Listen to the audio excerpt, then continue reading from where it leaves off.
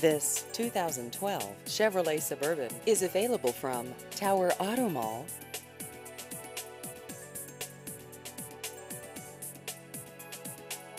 This vehicle has just over 31,000 miles.